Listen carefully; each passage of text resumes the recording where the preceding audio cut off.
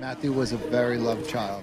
He was an 18 year old American Normal- boy like normal everybody boy. else in this country. is. Normal boy. When he was born, just the cutest little baby with big brown eyes. He was a handsome little boy, and he was very happy all the time. He was such a free spirit. He was so happy all the time, and he had a, a smile to die for. I remember Matt's Smile, boy, I'll tell you something. He was a charmer.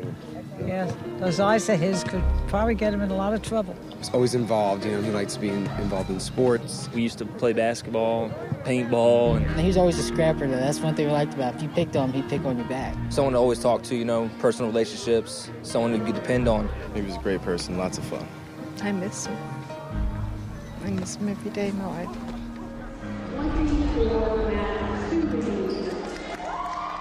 We called him Matthew, we called him Matt. The kids, the girls a lot called him Matty, you know, but um, he was my Matt. And um, he loved to fool around with the kids and wrestle with the boys. And he and Annie were very, very close because they were the closest in age. And those two, they were like two peas in a pod. Um, but unfortunately, um, apparently he was having trouble sleeping and he was having bad dreams and waking up and um, starting to have like panic attacks. That's when I said to him, you know, Matt, maybe it would be helpful if you talked to somebody outside of the family, you know, like, would you want to do that? So I made an appointment with him.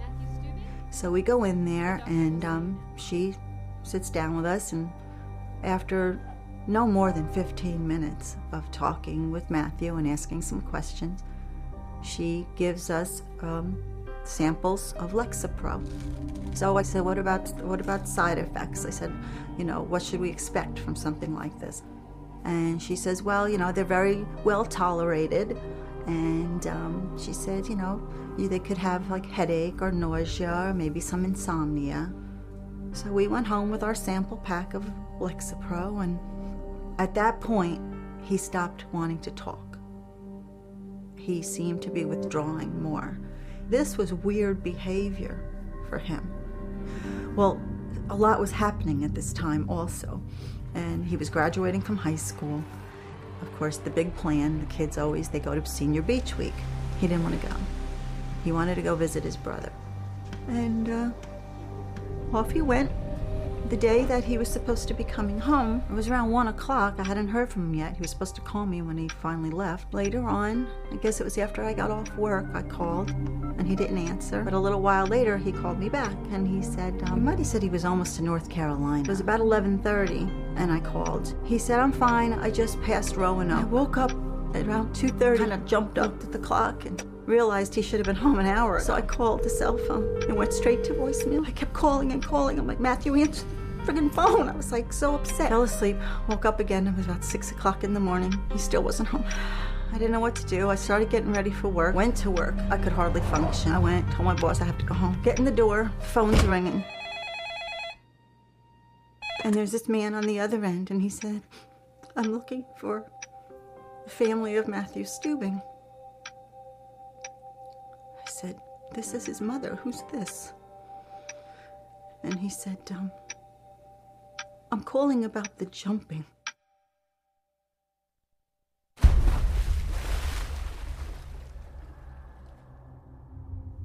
Our world blew apart. We couldn't imagine that this had happened. We couldn't understand because this, this just wasn't Matthew. None of this was Matthew. I mean, it was like. made no sense. It made no sense.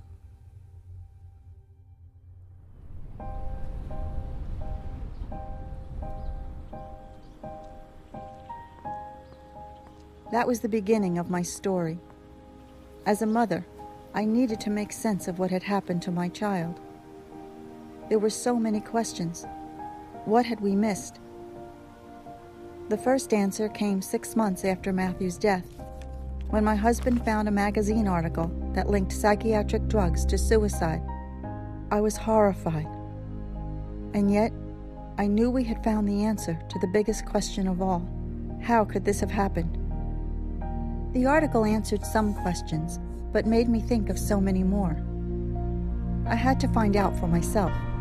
I had to do something. This is for you, Matthew.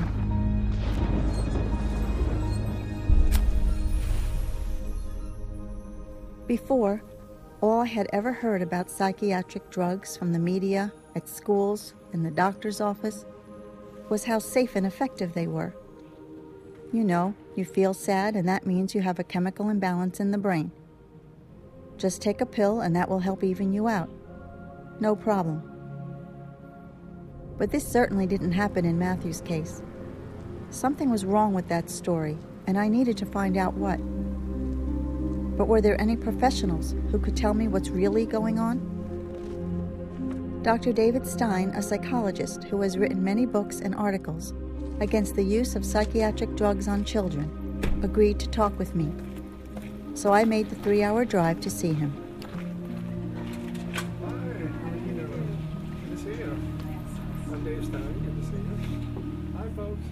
Tell me what brought you to drive all the way down here. Well, we uh, went to a doctor, a psychologist, Okay. and my son was um, diagnosed with depression, and we were told that it was be caused by a chemical imbalance. Um, is there such a thing as a chemical imbalance in the brain that can cause um, psychological problems? No, actually, that's one of the misstatements of uh, disinformation or misinformation that's coming out. And unfortunately, I think your psychologist believes there's a chemical imbalance, and a lot of people do. The psychologists, educators, the psychiatrists certainly accept it, and now pediatricians are accepting it. It is not caused by chemical imbalance. And what makes me angry is so many of the doctors are just buying into that. It's just not true. There's no test or anything that could have been done to determine that. Am I right? They claim that they found this chemical imbalance or that anatomical problem or anomaly with the brain or nervous system. And yet, if you were to send your child to a lab to have the chemical tests done on his blood or urine, they would look at you like you're insane because it can't be done. So, what they claim is an imbalance cannot be measured by any laboratory or urine tests or PET scans or CAT scans. None of it can be replicated at the clinical level. And there are about a thousand claims that come out every year where they think they've found the cause of depression or ADD or bipolar disorder. None of it is true. Does that answer your question, Celeste? Yes. Okay. So I feel that if I had known better, if I'd had the information in front of me to make a decision, he would never have been on that drug to be to be honest, he never would have been on that drug. And I believe we would have worked it through. So I feel I feel to blame. You feel guilty. I do. I think I'll always feel that way. You did not let your son down. You were an honest parent, honestly seeking help for your son who was having some trouble. And if you went to the bookstore, the books would say the same thing. The same garbage would be inundated through all the bookshelves. So you'd pull one book after another book after another book, and all you would get is chemical imbalance or a neurological disorder and all this. And they need the drugs, and the drugs and therapy, the combination is the way to go. You would have gotten it from everywhere you would have looked, except the very few scholars around the nation and the world that are fighting this, and we're a rare breed. We read deep into literature. You're not at fault, Celeste. I think your attitude will change, but right now, the prevailing and pervasive attitude is what you walked into. It makes me angry. I feel anger at hearing your story. Dr. Stein, thank you so much. God bless you, and uh, I'll help you any way I can. Appreciate it. What Dr. Stein said shocked me. Why hadn't I heard this before? Why hadn't anyone told me this? Was the mental health industry knowingly lying to me? And if they had lied to me, surely I wasn't the only one they lied to. I found out I was not alone. There were a lot of other mothers who had been through similar experiences and were speaking out.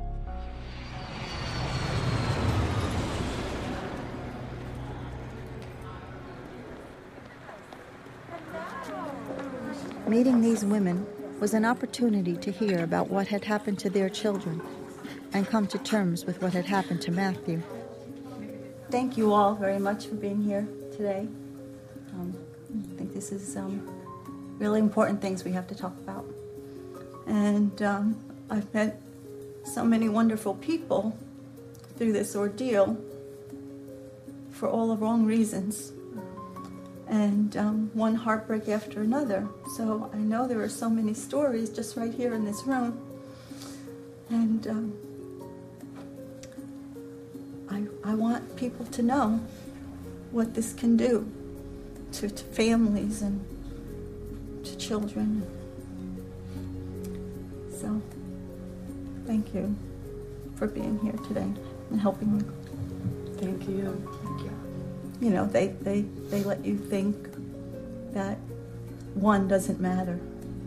You know, they, they expect that a certain percentage are going to suffer these side effects, and that's okay with them. One child's dying. But it's not okay from this. It's not okay. And there's one, and there's one, and Yeah. there's one, That's and then right. there's a hundred, and then there's a thousand, and then That's there's right. ten thousand, and right. it's not just one. That's And right. one is too many. That's right. But it just goes on and on. When I took Matthew um, to the doctor, he was diagnosed with a clinical depression, and they said it was because of a chemical imbalance. What happened to you when you took Candace? Um, we took Candace because she was exhibiting anxiety at school. She had started blocking on tests, and I had a couple of teachers say, you know, Candace needs to study for these tests. When I would know that she had, because I used to study with her and she'd always make note cards and everything, but she would get to the test and she would freeze, or else her writing was so horrific that she might have had the right answer, but the teacher couldn't read it, so she'd get it wrong anyway. And I took Candace to a highly recommended child psychiatrist, and he talked to her for about 15 minutes and said, Well, she has a generalized anxiety disorder. Um, the only way that this anxiety was manifesting itself was in tests. There were no other areas of anxiety. They're not telling you that it's entirely psychologically based and subjective. They're just saying, oh, well, based on these symptoms, you have a chemical imbalance. And and then with a chemical imbalance, it's like, where did they come up with that? What chemicals? I love that. Like, where's the test? Don't Yeah, we yeah, get a where- test? Where are the tests, you know? And Yeah. You can draw somebody's blood and see if they have cancer. Mm-hmm. You can, those are real medical diagnoses. If somebody tells you that your child has ADHD, ask them to draw their blood and show you the chemical imbalance causing this. And they can't do it because they haven't proven the chemical imbalance that's causing this. It's completely arbitrary and subjective, and it is their opinion that that's what's going on with your child, who you are actually the expert on.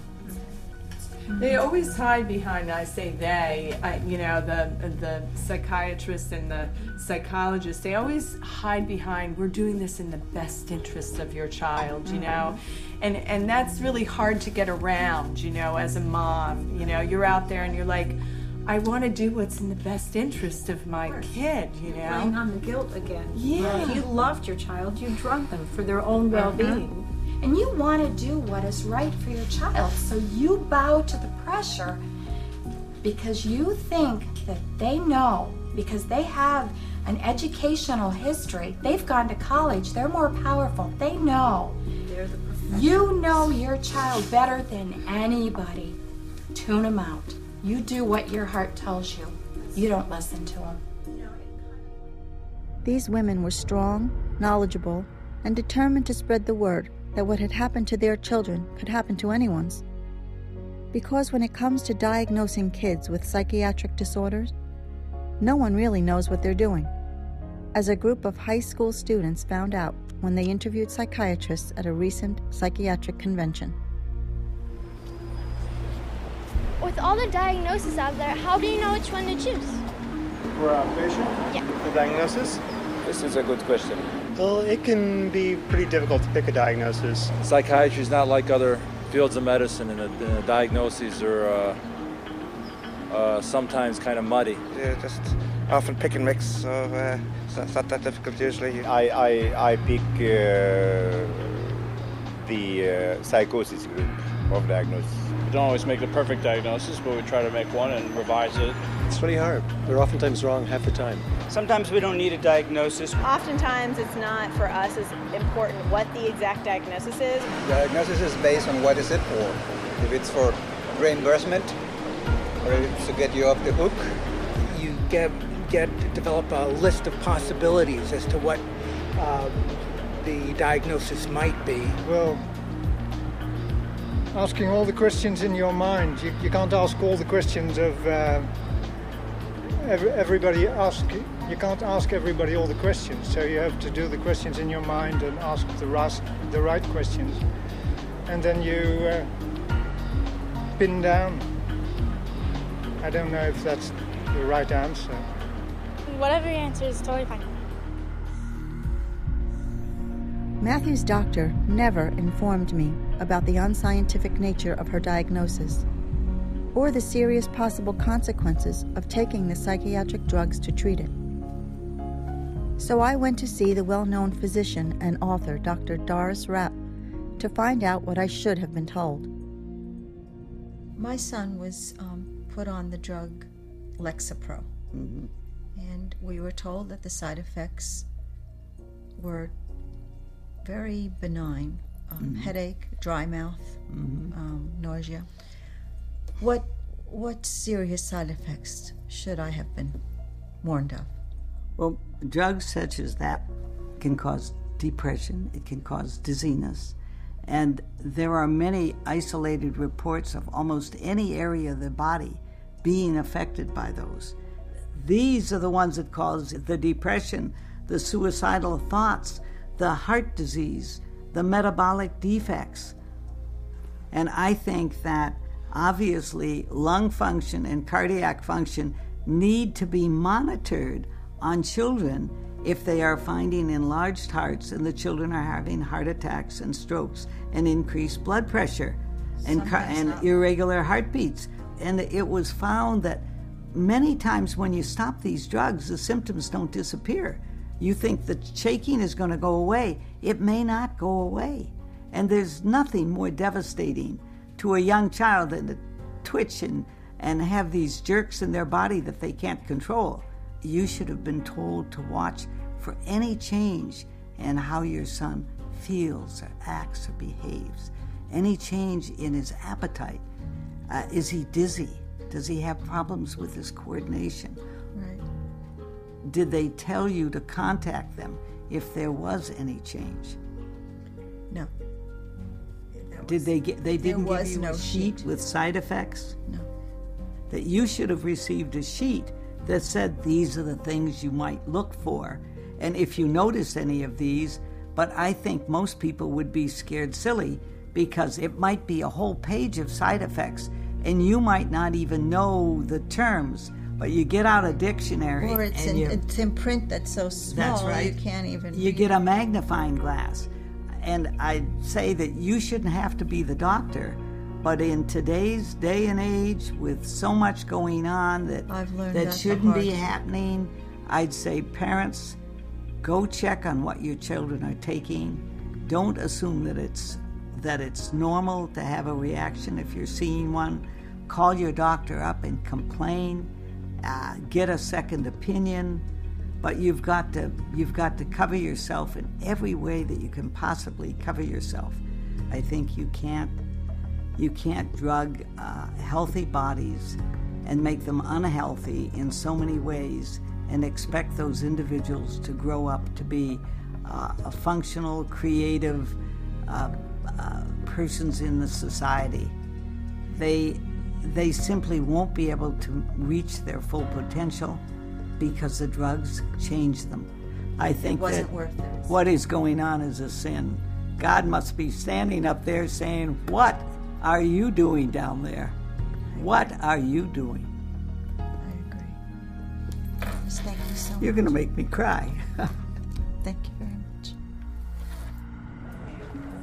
You have some tea inside here and um, coffee. These are these are dangerous drugs that don't cure anything. And the, the diagnosis of ADHD is ep- it's just epidemic right now. You know, um, it's so easy to do to, to label a child that way, and then that label follows your child all the way through life. Well, Shayna was diagnosed as, as early as first grade. So um, the school psychologist sent us a letter and stated that Shayna had all the characteristics of ADHD and needed to go to a doctor. So I took the letter from the school psychologist to the psychiatrist with me.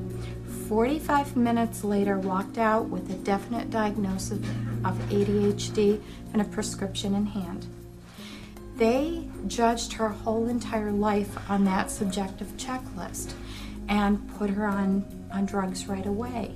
Progressively, she would revert back to where she'd fidget in her seat, and the school would call and say, Shayna's not paying attention again, she's out of her seat, you know. Up the dose. Up the dose, up the dose. Mm-hmm. February 26, 2001, I received a phone call from the school nurse at exactly 10 o'clock and said Shayna had taken a fall in library.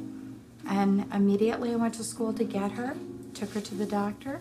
I was only a few feet away from her, signed her name on a clipboard. I turned back, and she's having a grand mal seizure.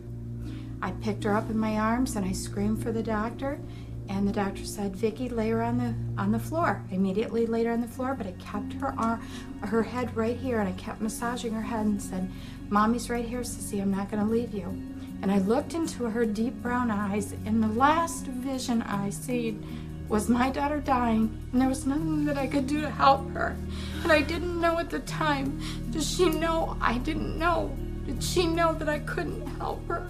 What was going through her mind while I'm watching her die?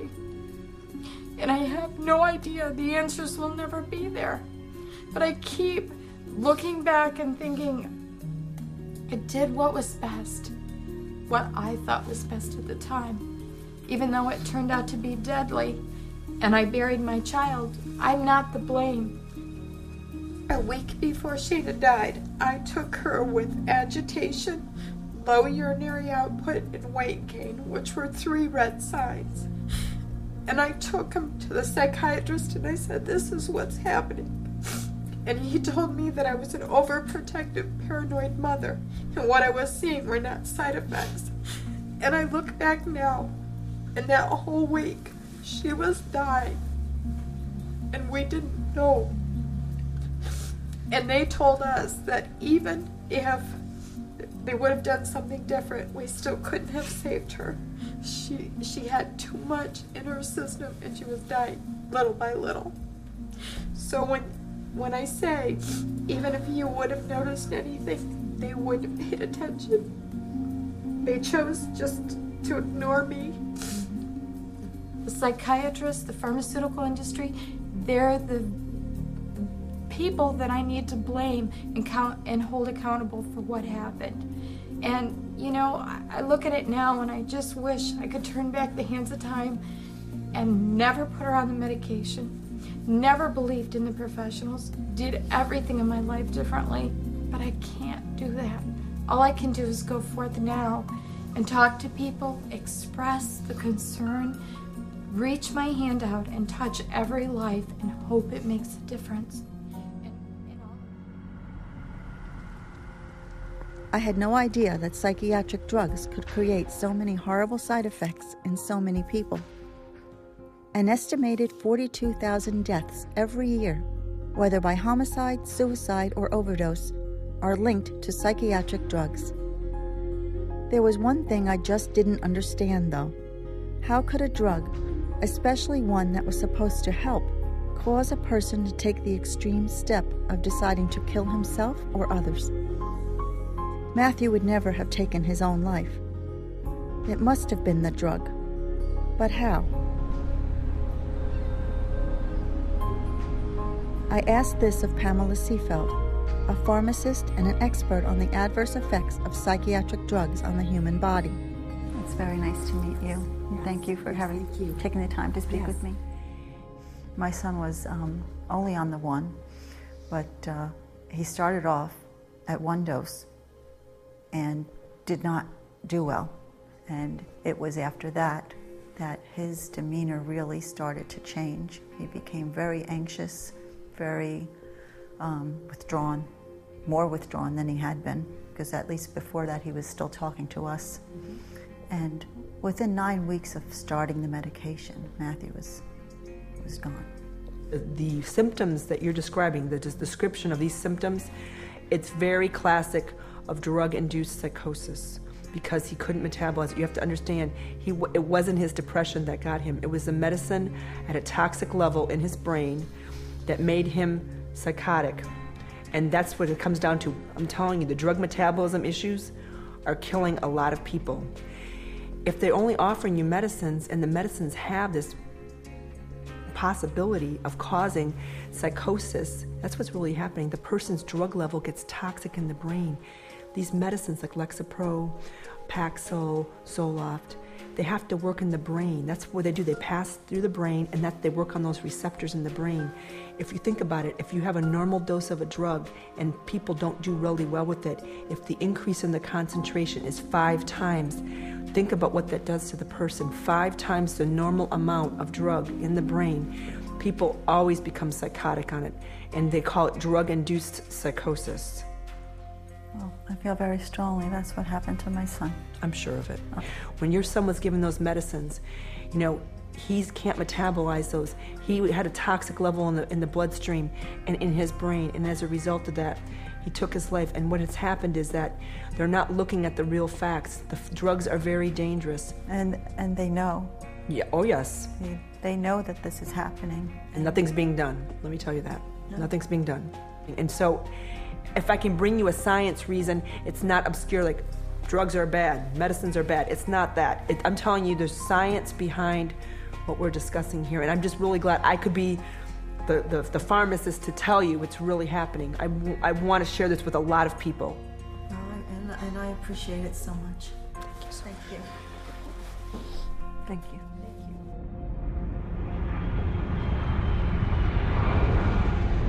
It doesn't take much looking to find some pretty horrible examples of children who became extremely violent after being put on psychiatric drugs. Kip Kinkel, for example, shot his parents, then went to his high school and killed two and wounded 23 more while withdrawing from Prozac. Christopher Pittman was taking Zoloft when he shot both his grandparents and burned down their house.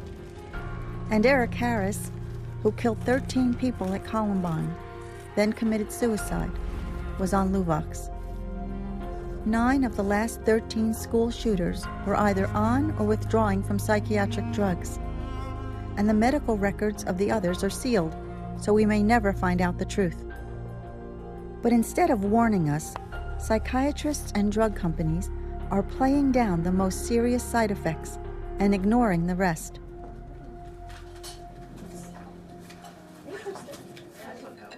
Matthew loved his family, loved us so much. That before, when he jumped from the bridge, he was wearing a life vest. The reason, and he wrote it on a note that he left in his truck, and said that he was wearing a life vest so that he could be found so that his parents wouldn't have to worry about where he was. Now, is this a child who wants to hurt his family? He wouldn't have hurt us for the world. Sorry, Annie. But this is what happens.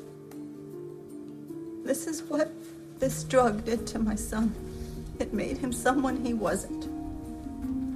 Matthew, she knows also, because she had a sweet little girl who was only 12 years old. You know. You know what I'm saying? I do know what you're saying, and I still think back to being in that doctor's office and saying, I don't want her on this. And his casualness, his, what are you worried about? And not knowing any different. We've all talked about the fact we just didn't know. But the guilt that comes from watching people give your child medication or giving it to them yourself, making sure they take it because they tell you, don't let them miss a day. That's right. Mm-hmm. And it ends up killing them. I think about the warning signs that we had that we didn't know were warning signs. I remember sitting there watching Candace go like this, and I said, Candace, what's wrong? And she said, I don't know. I'm I'm just itchy and not realizing it that it mm-hmm. was that feeling of needles of burning under her skin and she was trying to get rid of it, but she was mm-hmm. 12 years old and she couldn't tell me. And I'm thinking, oh, it's shaking. Yeah. Showing me how his hands were shaking. And I say telling me that his heart was beating fast. Candace was shaking, and I remember thinking I really should take her to a neurologist because, you know, her hand is shaking. Sometimes it would be hard to hold something. But not knowing that that was a sign that the severity of the amount of medication in her system, I just assumed it was dry skin. And I think about her curled up in her father's arms laughing. And that's my last time I saw my child alive. Who would ever assume that this happy child that is embraced in her father's love with her sister right there would walk up to her room and hang herself from the valance of her bed? And nobody knew it. They were there. Nobody knew it because we had no signs. I think about days when I thought I was going to die myself because my pain was so intense that nobody, nobody could live through the breaking heart that I was suffering. I remember being in a fetal position on my laundry room floor, thinking I was dying, and calling my therapist saying, I don't think I can live. I can't catch my breath. I can't live. And what did keep me living was the fact that I had a surviving child who needed me. And I needed I needed to be there for her because I don't know if I could have done it. And I remember Candace had drawn a little heart on her hand. And in the heart she had written 911 and then she had covered it with a bumblebee sticker. She didn't know she was going to die. She thought she was going to be saved. She didn't know she was doing this. 12 years old. Oh my. There's Matt. Matthew was sick, but he went to basketball practice. Matthew had 22 points the other night. It was awesome. Matthew's personality was infectious. His his love of life was infectious. Everybody wanted a part of it. He was just a breath of fresh air, like sunshine. And people loved being around him. He was outgoing and always smiling and funny and, you know, playful. Matthew was a friend to everybody.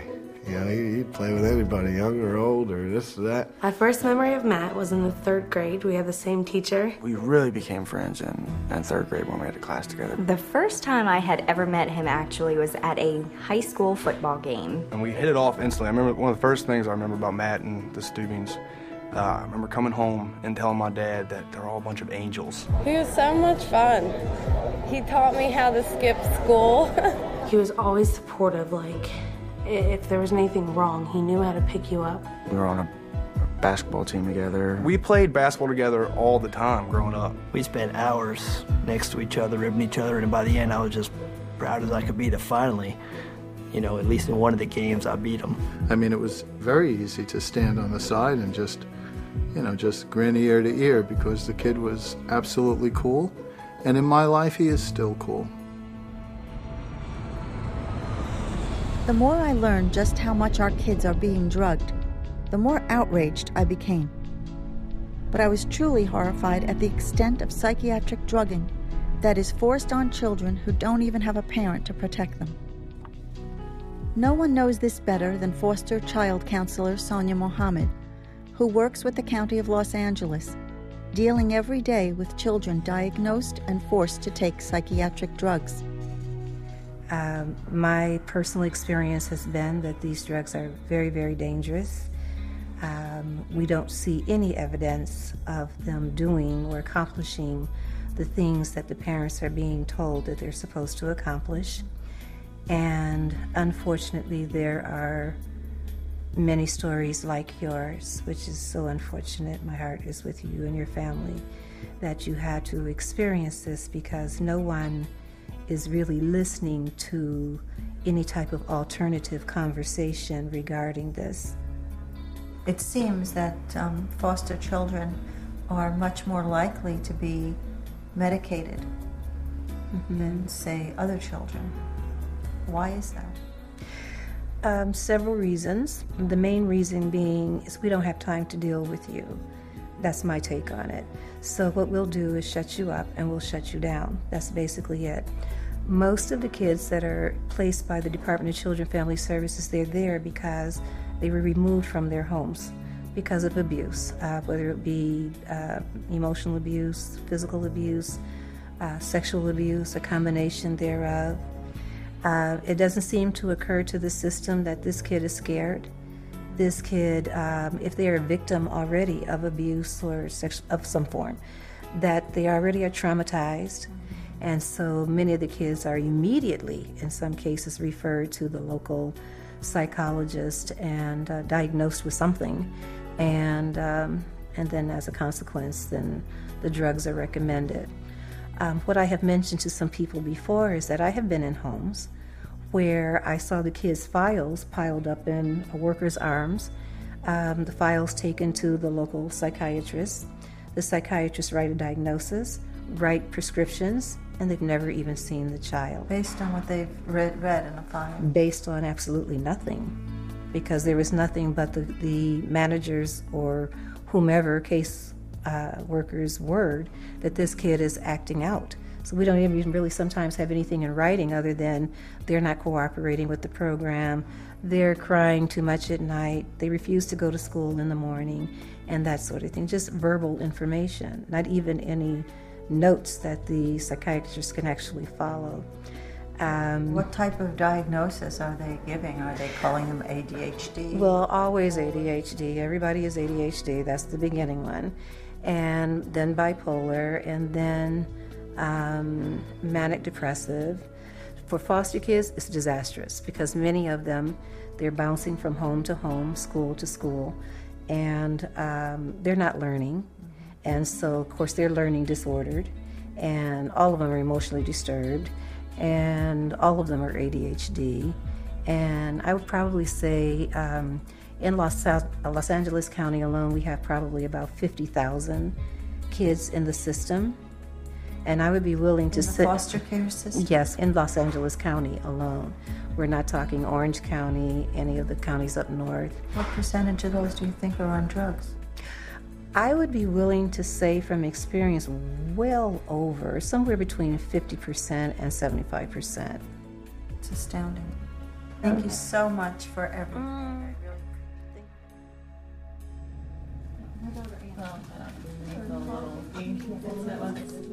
Our children came from loving homes, and we've still experienced these problems. But as far as um, foster care children go, you know, they've all had issues and reasons that they've been taken from their homes. And I understand that they are automatically put on drugs. Certainly, they have to go through psychiatric evaluations. So, um, you know, you have experience with that. Right, yeah. Actually, I remember seeing a study that children in foster care are three times more likely to be on a psychiatric medication than other children who were on Medicaid. The foster parents don't know. They don't know. When you go into the foster classes, they're told that medication is the answer. When your child is having these issues, get them in. Get them in. Those are the exact words. Get them in fast so that you can get their medication adjusted. And then the issues continue, or the child just kind of goes numb. Or the children die, like or the, the children die. When I got my little boy, he was on eight 50 milligram pills a day of Seroquel, the uh, antipsychotic, which for a child under 50 pounds is really incredible. That was on top of his ADHD medication. He was so drugged and so violent. I was actually afraid of him, and we would hide our knives at night, wow. our kitchen knives um, when we'd go to bed as a family because we were afraid that he would get up in the night and harm someone. he became so bad that he actually, in one of his foster homes, slaughtered their family pets with a kitchen knife. Oh, the foster mother came home and she sees this and she thought a burglar had gotten into the house. She was just distraught. Oh my gosh, who could have done this? It never even crossed her mind that the preschooler did it. And she figured it out that it was him. He had gotten so violent on these medications that he had killed her little family pets. It was decided that he should go to the state hospital, and I left there and I decided that I would try him. They said I had two weeks to turn him around. And then the state hospital was still there if I couldn't do anything.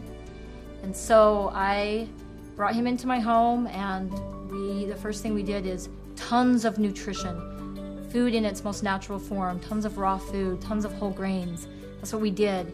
Lots of real nutrition, and then we um, started taking him off of his medications, and he turned around so much that I became known in the caseworker's office as the miracle worker. He um, he just made such a turnaround, and today he, he's just incredible. He skipped a grade, and he's still toss, tops out, you know, nationally. He tests out so high, in even the grade that he's in, he plays a couple instruments. He's fabulous at school. This is an exceptional child. He's not showing violence toward his Oh sister no! or your oh, family oh, no. pets. Oh or... no! He's very sweet with all of our pets. We have five dogs, three cats, and he's wonderful. And it's just incredible to me how many children out there are in his exact shoes, and we'll never. There aren't enough no, people like you to, will- to care. And the These- doctor can just blame it on trauma. Or, or, you know, if a child commits suicide so often, it's just we didn't get to them soon enough. That's that's what it is. We didn't get to them soon enough. Because that, that takes the blame off of them completely. Or like my son's psychiatrist said when her patient shot himself, where'd he get a gun? No, looking introspectively, where'd he get the will? So it, it, it's it's just somebody else's fault. It's never the medications that I prescribed. Oh or like it was an everyday occurrence, and I was just sitting there flabbergasted and thinking to myself when she said, when she was finally, you know, it said that he was okay to come off all his medications, and with his Seroquel, she said, "Wow, I am just so glad to see that he can still imagine and play." Because so many children who are on this medication for any length of time lose that ability to play anymore. And I was just shocked and thought, how do you sleep at night? I can't imagine taking somebody's creative ability from them. What could possibly be worse than making somebody into someone who that they, they're permanently Like a zombie. Yes, yes, they're a permanent zombie. What could be worse than that? Tell me a disease that you would rather have than that. The situation with foster care is truly horrible. As I soon found out, not only are thousands of children drugged every year, but sometimes the results are fatal. I flew to Florida to meet with Michael Friedland, an attorney who represents foster kids damaged by psychiatric drugs, including 16 year old Emilio Villamar. Good morning, Celeste. Very nice to meet you. I'm glad Nice you're able to make you, it. Michael. Thank you. Thank you for having me here. My pleasure. How common is the use of psychiatric drugs in the foster care system? The drugging of children in foster care, I understand, is a way too common occurrence because it's a simple fix. Um, foster mom or foster dad or social worker says we have a child who won't sleep through the night, or a child who's waking up with night terrors, or a child who's misbehaving, or redirecting their frustration on other childs, or using their hands to hurt, not help. Uh, and instead of sitting down and working with that child and taking the time to say what what's causing them to act out, no, we don't. We're not going to worry about that. We have a fix. Give them this pill. They're using these poor children who are coming from incredibly difficult environments as guinea pigs With no one to protect them. with absolutely no protect them. And that's why they prey on them. Because there's not a mom or dad there that can say, hey, no, no, no, no, no, no, I'm not going to let you test this untested, unproven drug on my child. So let's test it on children that don't have someone to be their voice. Oh my goodness. You represent um, the mother of Emilio Villamar. Can you tell us something about his story? Just like your son, Emilio was a vibrant 16 year old boy, played water polo, excelled at school, had lots of friends, came from a great family. Everything was, was wonderful in his life. And he had a bad situation in school one day. And mom got worried because he wasn't acting like himself. And mom, being a very concerned mom, took him to see a doctor. And the doctor, without really any kind of diligence or any kind of thought, um, put him on a varying combination of different incredibly powerful antipsychotic drugs over the next 12 months, um, leading to a cardiac event that led to his death. My goodness. Um, how many drugs was he on? Over the over the 12 months that this physician treated him, he was on 17 different drugs at, at different times and different dosages and in different combinations. Oh my goodness. And those drugs killed him. I believe that. I believe that's what happened to Matthew. Not knowing all the facts of, of Matthew's story, there's no question in my mind that that the drugs played a role. I mean, it, these these drugs are dangerous. They're dangerous for adults, let alone children. And they're being prescribed recklessly. They're being administered recklessly. They're being promoted even more recklessly. Um, Michael, thank you so much for what you're doing and for letting me come in here and speak with you today. It's my pleasure. Again, sorry for what you had to go through. I can only hope that what you're doing saves other families from having to go through that same tragedy. I hope so. Oh, Matthew's got you now.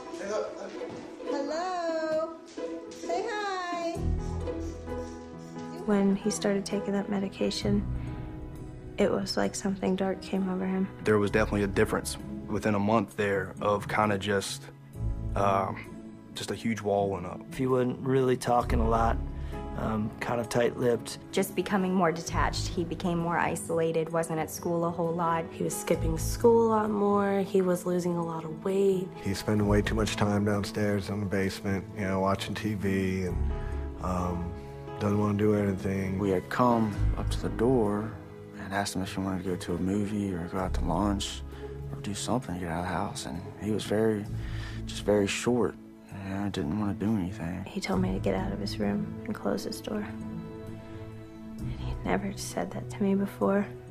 But it's like he wasn't comfortable in his own skin. It was like he had 50 cups of coffee and he was starting to get spooked about who's here and am I safe and all of these things that were almost like playing mind games on him, if you will. He just didn't feel like he was in his right mind anymore. He didn't understand what was happening. He thought this medication was supposed to be helping him. And I remember seeing, recognizing the look on his face as it's hard to describe that n- nothing is okay. You know, there's no future, just complete despair and sadness in his eyes. In the last few weeks, I've had to face the fact that all this drugging of children isn't happening by accident. The drug advertising is everywhere, and it's obvious. But the real surprise was to see how heavily psychiatric treatment is being pushed in our schools, right under parents' noses. This wasn't the case for Matthew, obviously, but I do know that they are starting to screen children in school for um, mental problems or things that they perceive to be mental problems anyway. Um, Sheila, you have experience with that, don't you? Um, my son was seven, and um, he was in um, school, and I was getting a lot of phone calls from the school about his behavior. So they did this checklist on him, and um, I didn't know anything about this checklist, but I I took it home and I had to fill it out, and it was all on his behaviors. Does your son get sad? Does your, you know, your son, you know, just simple little questions that any child would do. Any child would do. So, based on that checklist that I filled out on my son, and they filled out, they diagnosed him off of a checklist that he had ADHD. And I was devastated. I was like, oh my God, my, what does this mean? My son's mentally ill, you know? He's only seven, you know? And he. You had no experience with that beforehand, right? No, no. My son was, you know, very talkative. He started talking at 10 months and he, he was all personality. And I could remember sending him off for the first day of school. I, I have the pictures. He was so excited to go to school. But then all of a sudden, when they got him on this behavioral chart, um, he, he hated going to school. And he came home and he was upset and he, he just didn't like school. He hated it. And at seven years old, to hate school, that's, that's, that's a crime, actually. And then they said, you know, you really need to try him on um, ADHD medication. And I was like, I don't want to do that. You know, um, I'm not doing it. You know, the bottom line is, I, I had no idea how subjective that checklist was. If I had known, if somebody had said, this is just our opinion, you know, it's not really a medical diagnosis, I never, I never would have filled it out on my own son at seven. Do the parents know that this is being done in the school? Are they given, do they have to give permission for their child to be screened? Are they automatically being screened? The way they do it where I live is really pretty backhanded. What they do is they come in and talk to kids in high school. So, are you feeling kind of anxious? Right. Have you broken up with a boyfriend and it's made you sad? Why don't you take this screening and we'll see what the underlying problem they're teenagers so the kids have to bring a form home it does have to be signed by the parent but the parents say okay honey if it would make you feel better go ahead and have it done. I had a friend whose daughter went through this. The screening gave her a diagnosis. Now this is from a computer check the box mm. screening. Gave her a diagnosis of depression. So then she took home a paper look mom and dad i'm, depressed.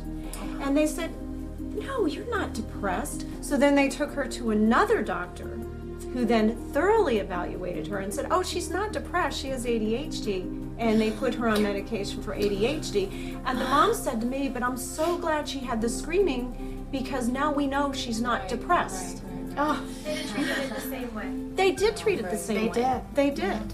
What they do in my son's school is they do pretzel breaks. They come in, this, uh, the school psychologist comes into the classroom and we're going to talk about how you feel. And it could be in science, it could be in math, it could be in any class. So you have a captive audience. Your child is just there and has no ability to say, I want to opt out of this, you know. And then they give out pretzels to the class, and there's like, How are you doing? How's things are going at home? Have you ever felt like killing yourself? Have you ever? Mm-hmm. And all of a sudden, they're in, in the classrooms in math and science, and, and that's what I have found in my school.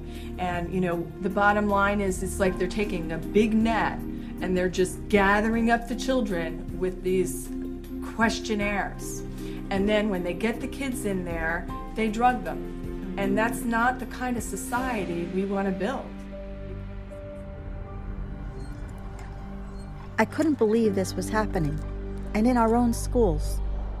From a single 10 minute multiple choice computer test, they can judge you at risk for suicide and send you to a psychiatrist. And one well known study said that 91% of all children going to a child psychiatrist leave with a prescription. The only problem is the psychiatrist who wrote the questionnaire for the largest children's mental health screening program in the country has admitted that 84% of the time the test is wrong. But by then, the damage is done, as I learned from educator Kathy Brown. Hi, Kathy. Hi, Celeste. Thank you so much for having me here today. Oh, you're very welcome. Appreciate it. I don't understand how, you know, these young children, especially that are being put on for ADHD and bipolar and whatever else they're being, you know, labeled with. How do these children learn? How can they function in school? My observation is that they just don't. They they can't. Basically what I see is they can't concentrate and they as you said fall asleep.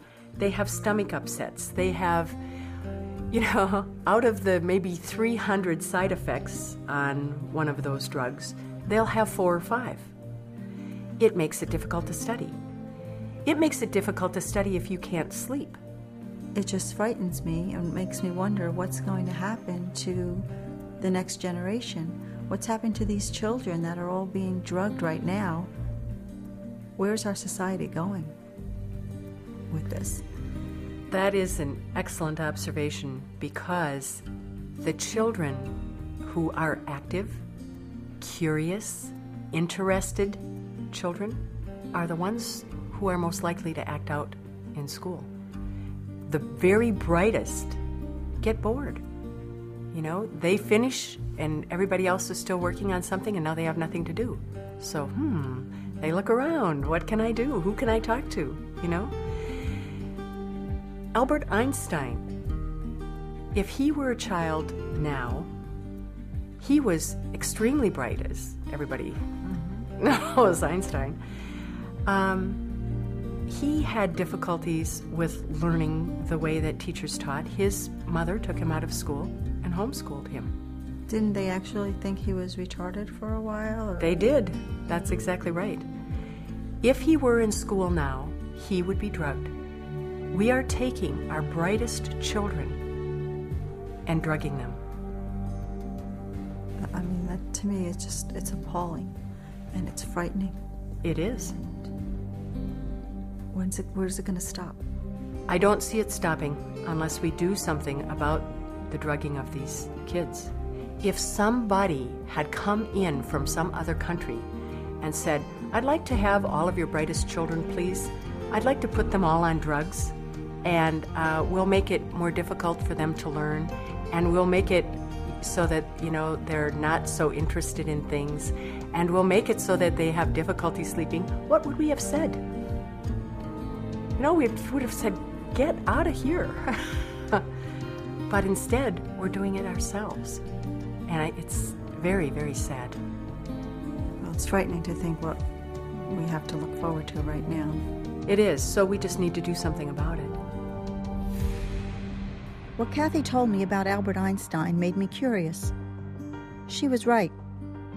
Einstein was very quiet, didn't do well in school, and didn't even speak his own language fluently until he was nine.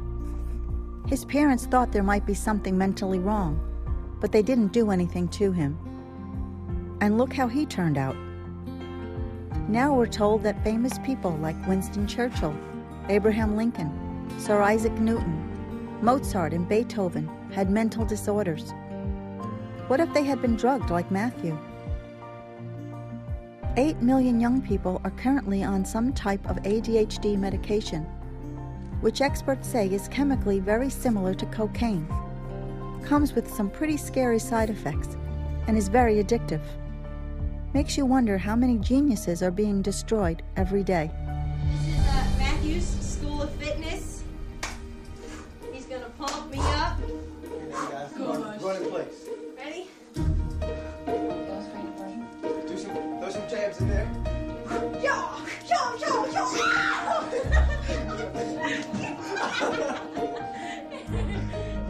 Heard the news of my brother's death, um, I couldn't be more shocked. I was at home. I think it was a Saturday night. I was hanging out with a friend. Friday night is when I found out. I out. was on my way back from vacation. I found The out. phone rang at about four in the morning. My roommate waking me up 5.30 in the morning on Friday.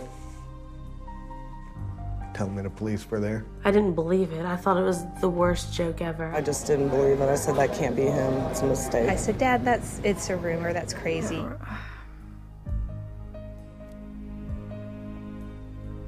It's, it made me speechless. It was one of the worst days of my life. I never imagined Matt would commit suicide. He did not want to end his life. He loved life. He had a good life. We all knew Matthew wasn't capable of this. Um, a boy doesn't smile like that for 17 and a half years. Um, and then six months later go and do this without any help. In just these past few months, I have found that we are in the middle of an epidemic of the psychiatric drugging of our children.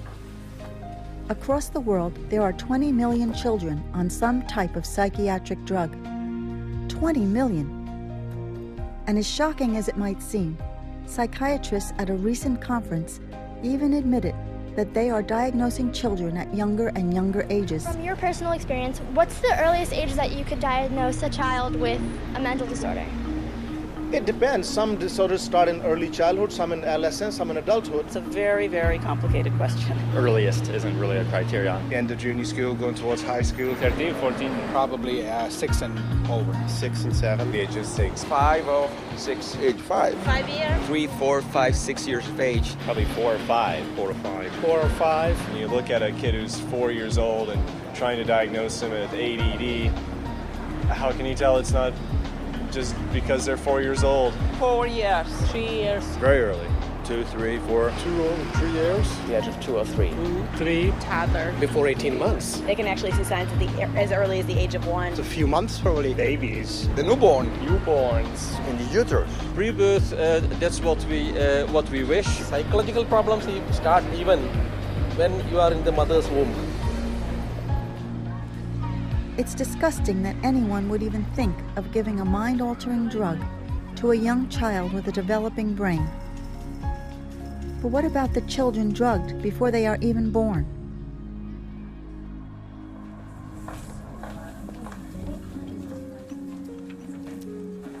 Another way that um, we're being drugged is um, through pregnant women.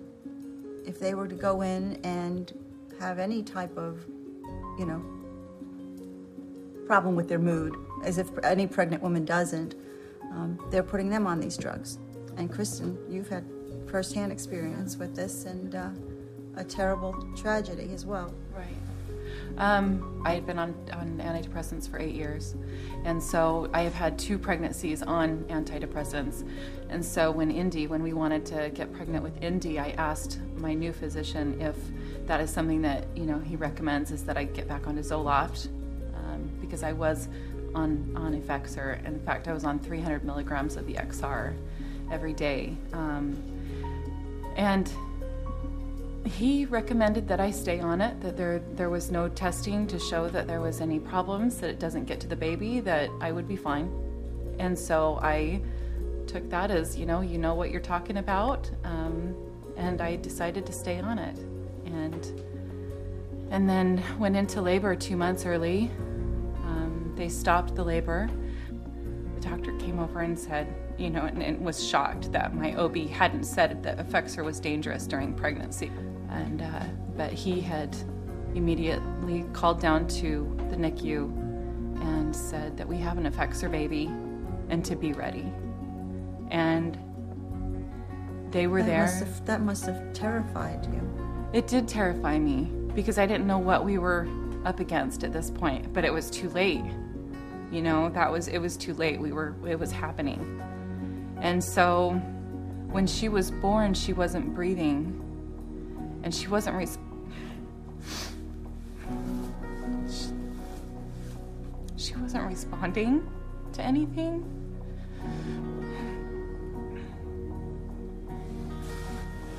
And at that point,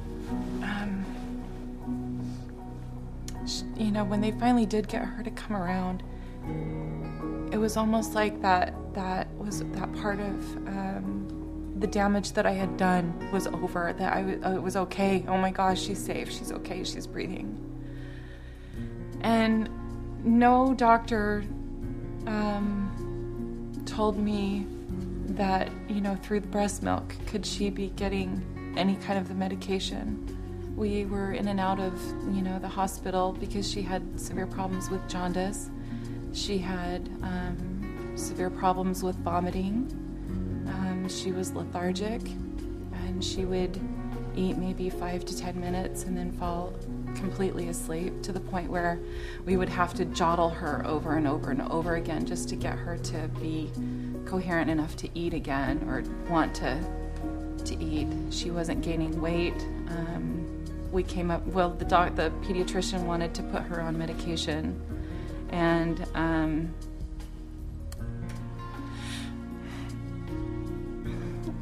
I told him no because she was a baby. And in the whole time, I was giving her medication through the breast milk, and and okay with that. I just. She didn't even have a voice. She couldn't tell me that anything was wrong. You know, I should have seen. You know, I should have seen and I should have put it together, but I didn't. That I wasn't didn't. your role. That was No. the role of the the doctors, and there were se- there were plenty of them around to be able to tell you that this could affect your baby. Well, and you think about it. You don't drink, you don't smoke, you don't, you know, drink caffeine. You, you watch what, you know, you take good vitamins. Why would you drug yourself? You know, it goes right to the baby. And that just didn't. It's called a medicine. It's a medicine. They call it a medicine, so it, it seems like a good thing. You're supposed to. It's going to do nothing but good for you, and that's not what it does. It's it's as bad as all those other things or worse. Well, that's what I've said to my, you know, to some some people is what's the difference between going to the guy on the corner selling heroin and going to my doctor? Because it's going to do the same thing. You know, I did the same thing. I breastfed for four months on Zoloft. And the whole time they told me it was safe, and the only problem was watch out for sedation. But they never said because sedation could kill your baby.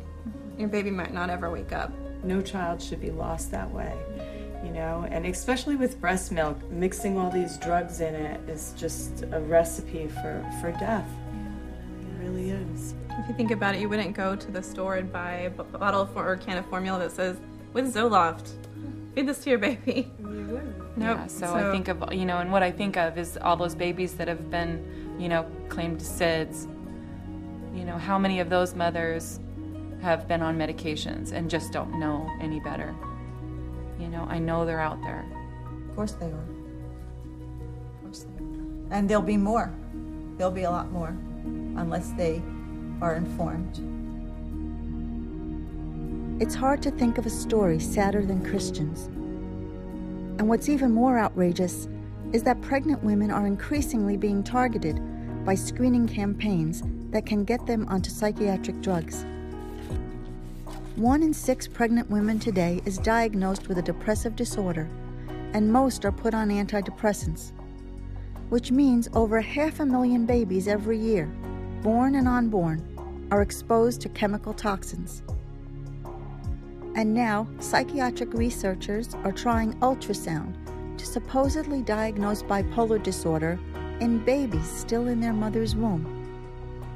The problem with drugging pregnant mothers with antidepressants like Paxil is it dramatically increases the risk of preterm delivery and doubles the chance of birth defects, such as heart malformations.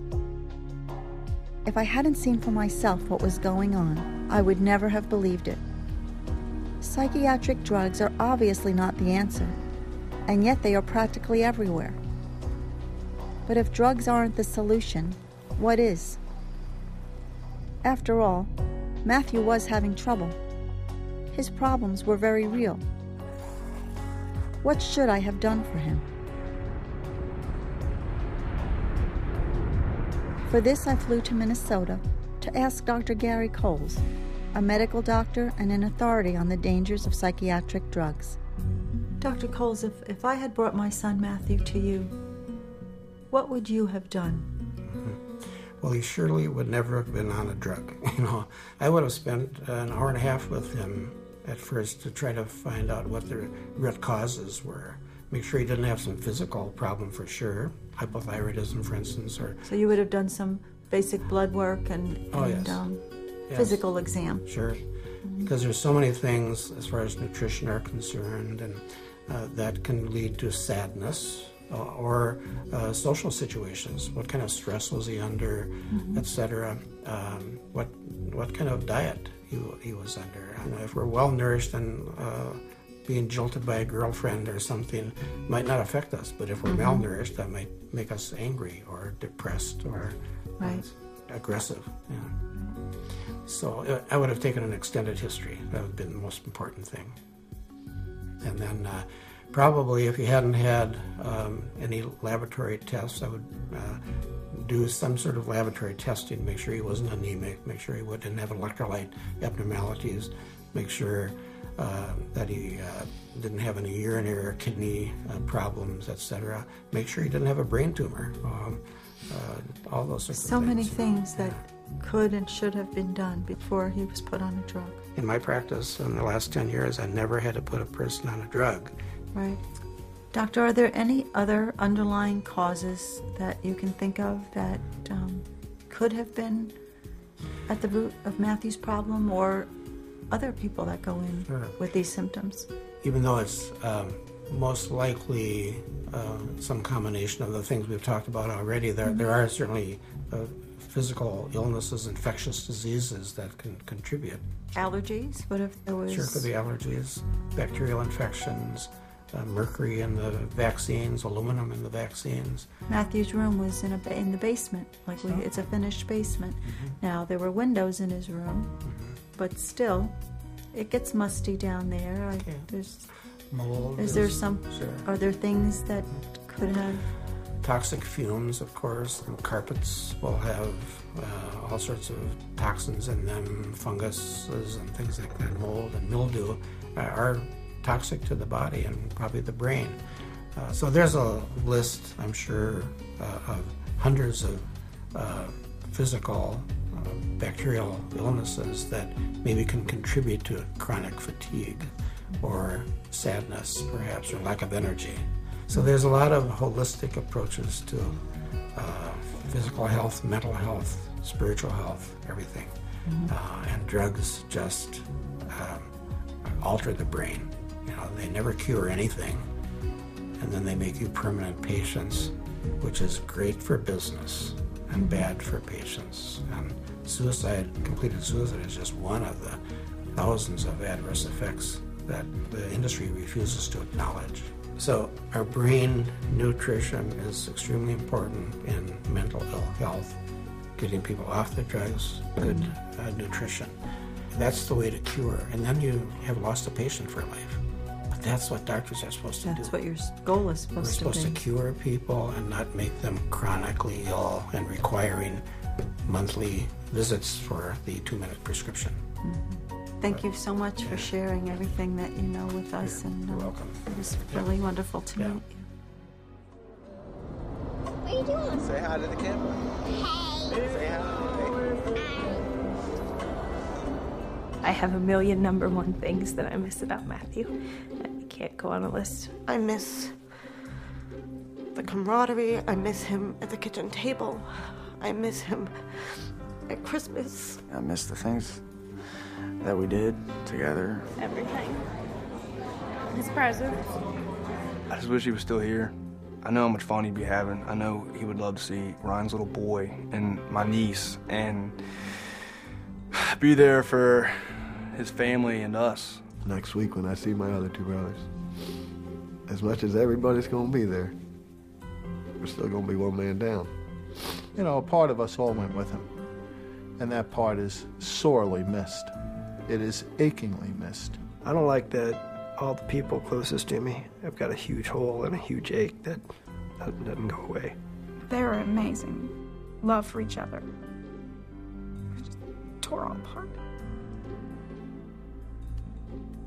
For some drug companies, bottom line, My friends get to visit their brothers at college, and they have their little brothers on speed dial.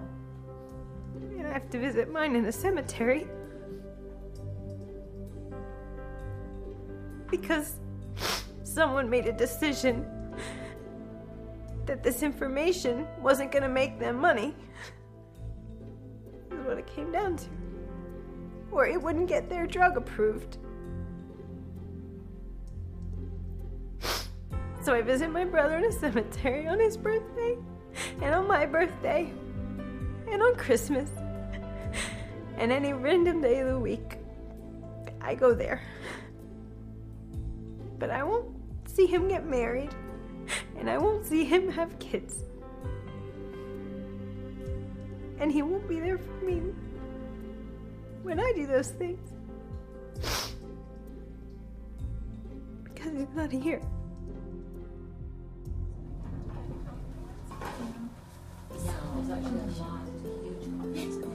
We've talked a lot about um, the devastating side effects and um, of these psychotropic drugs, what they've done to us and to our families, and how um, we've had to live with the effects of them.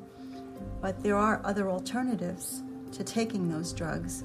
And I just wanted to talk a little bit about what they are and what experience you might have with them. Sheila, you didn't put your son on drugs. You elected not to do that. What did you do to help him to get through his situation? I um, did tutoring, and basically, I took my son there um, twice a week, and they worked on educational um, issues such as um, sequencing. Um, what I found out was that he had a real problem with his language. So it was like a very positive um, approach to um, to his behavioral issues because they were underlining educational issues that were not being addressed in the classroom. He needed more one-on-one, which he wasn't getting. So it was probably making him feel inferior, or, you know, this way, this helped to boost his confidence and made him do better in school. He did much better in school, and um, it really helped his self esteem. And um, I saw a big improvement. So I did a lot of the educational resources. And um, I was just going to add that some students, like in the way the classrooms are, they don't necessarily fit in well, and a lot of parents are now doing homeschooling because their children don't have the pressure of what the school system wants. And I think that for some people, that's a really great solution. They say exercising is a wonderful way to, you know, relieve the stress and to Um, there is a study that I found one time that was talking about how great exercise is for you. And when I looked into the study, I found out that they had had a group with medication and a group with exercise and medication, and then just an exercise group. The exercise groups did the best, but it's promoted as though they're equal. Right. And it's very deceptive because they're not equal. The exercise worked in the study, and the medication did not. It made him worse. Why not take the kid out onto the playground and let them play for five minutes? This may be a child who is just wired to need a little bit more physical activity, like your daughter. Let run around him with a ball or climb on the monkey bars. let him go do that for five minutes and then return to the learning activity. It doesn't have to be a fight to make our children learn, to for our children to function in everyday society. If that's what that child needs, and let's find a way to give it to them. Let everybody be right, so that we can we can all function here. So there's so much we can do. It's it's nutrition, it's exercise, it's stuff that our grandparents would have used. too because that's what I did with my son. Start putting a lot of vitamins, mm-hmm. all the B vitamins and nothing else, no medication, nothing, and he heals so fast, unbelievable. Well, that's, another thing. You know, we need to look at blood tests. We need to check for, like you said, medical reasons first. We need to look at what alternatives we can use and not go with medication. We, there's so many things we can do. We brought up so many points here, and none of them involving medication. Matthew's got the ball. He's gonna take him to the hole. He's gonna smoke him. Come on! And the crowd goes wild. And little Stu buries his brother 22-20. Here's my little brother. I remember the day that he became not so much cooler, but just my equal.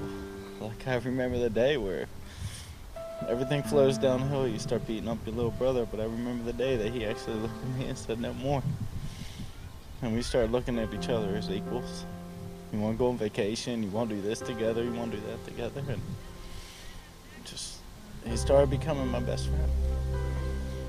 And he shouldn't have been he shouldn't have been so on these pills that it just it fucked him up. I mean like one day he's way happy and then the next day he's just way out of his mind sad and I'm just like, What's wrong man? What's going on? And it's just one day we're best friends and the next day he just don't even know who he is anymore. I I didn't know what to do, so I just leave him alone. I tell him all the time. I just I miss him. I miss him. I wish he was here. I wish we didn't have to do this shit for him.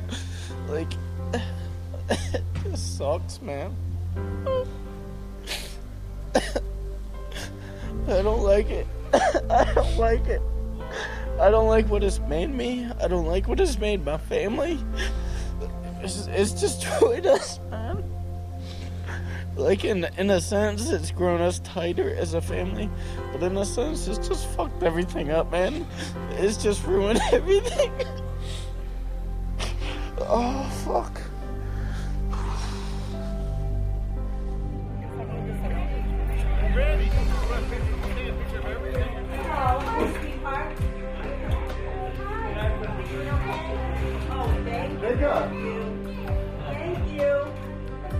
Every April 25th, we get together to celebrate Matthew's birthday. We make a cake, share fond memories, and remind ourselves of how lucky we are to have known him. We love him, we miss him, and we are so grateful for all of you who have supported us through this. You could say it's our way of healing, but the pain never really goes away. Of course, we aren't the only ones. There are all the brave women I had met who continue to speak out in spite of the emotional hurt it must bring them. They were all so moving. Sheila, who fought her entire school district for the right to leave her child unmedicated. Irma, who got her son out of a psychiatric hospital where he was involuntarily incarcerated after a mix up of medications gave him hallucinations. Matthew, whose daughter killed herself while on psychiatric drugs given to her only because she was nervous before tests. Vicky, whose poor, sweet little girl died in her arms. Amy, whose violent drug reaction toward her own baby should frighten any new mom. Kristen, who was assured she could take psychiatric drugs while pregnant, and whose baby Indiana paid the ultimate price. Karen, bringing her foster children back from the depths of psychiatric drug toxicity. And of course, my daughter Annie, Matthew's sister and best friend, without whom I couldn't have made it through this process. These are my friends, and if there's one lesson I have learned from them, it's that as parents, we are the last line of defense for our children. Because when something goes wrong, the mental health professionals are never around to pick up the pieces. Our children need us, and yet, in a strange sort of way, we need them even more. All of us have one thing in common, and that's that we love our children. What's so great about your kids? What do you love about them the most? I love that they're unconditional. They unconditionally love. Doesn't matter if I have a bad day or a good day, they're always there to make, you know, make everything better. They're so innocent. They come to you, they hug you, they kiss you, no matter what's going on around the world. And as a parent, you know, that's the most beautiful thing we can receive a hug from our children. I think they're trusting. They trust you. They're innocent. And they they think you hung the moon, I don't know. Yeah. Until someday it turns around and you know it's actually they that hung the moon. My niece and my nephews are the most fun and they it's like they make you feel alive more than you feel on your own, more than you feel when you're with a bunch of adults. They bring out the kid in you all over again They and do. You can laugh with Mhm. kids and have fun with kids. I like how they're never worried about anything. they're just always laughing and playing and. As they get a little bit older, because I don't know how many times I've said to Caroline, honey, just breathe. My, my kids are my reason for living. And I thank God every day for Caroline because she was the driving force to help me move forward and for teaching me to be strong. Because if I needed Caroline to be strong, I had to be that example of strength for her. Mm-hmm. It's the way with my sons too. They gave me the, the strength to be a better person, be a better parent, and to, you know, just just the smiles. I mean, I think our children come and they have lessons to teach us, and I don't. I'm so I'm such a different person now than I was before. Mm-hmm. They teach us a lot of good values in life. I kept thinking back to my children and what the other mothers had said about theirs their smiles, their imagination and creativity, and their boundless energy. My name is Tyler Milford, and I am 11. My age? Is eight, seven years old. Actually, just make that seven and a half. I'm eight years old, and I want to be a chef at a five-star restaurant. I'm gonna be an orthopedic surgeon. When I grow up, I want to be a geologist, I would like to become a professional basketball player. professional clothes designer, I want to be a musician, a actress, director, a teacher, dancer, and a singer. I'd go for speed skating if I wanted to. I'm really good. I just want to keep practicing and practicing until I know I'm perfect at it, and then do something big. Yes, I plan to get an Oscar. I was hoping that it would be like the funnest thing that I would do in my life. Losing a child is the worst thing that could ever happen to a parent. Children are not just another market segment for psychiatry. They need protection, they need guidance, they need love. They don't need psychiatric drugs. And I'm going to tell that to as many people as I can.